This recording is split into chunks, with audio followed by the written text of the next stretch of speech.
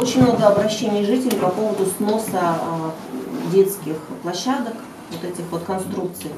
А, Ирина Могилюк нам а, через средства массовой информации сообщила, что якобы было какое-то предписание прокуратуры. Я бы очень хотела увидеть это предписание, чтобы понять, какая там была формулировка.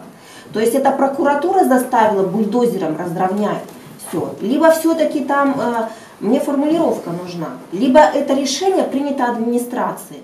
Вот именно таким способом выполнить это предписание. Потому что, на мой взгляд, это бесхозяйственная деятельность.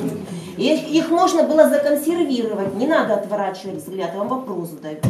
Их можно было законсервировать, их можно было разобрать, их можно было аккуратно а, пригласить э, экспертов, э, чтобы они оценили это состояние. Возможно, какое-то э, дали бы э, заключение о том, возможно ли их дальше эксплуатировать или нет. То есть я считаю вот такой бесхозяйственный подход. И еще у меня другой я вопрос купил. по поводу представления прокуратуры. Я прошу в комиссию предоставить. И второй вопрос.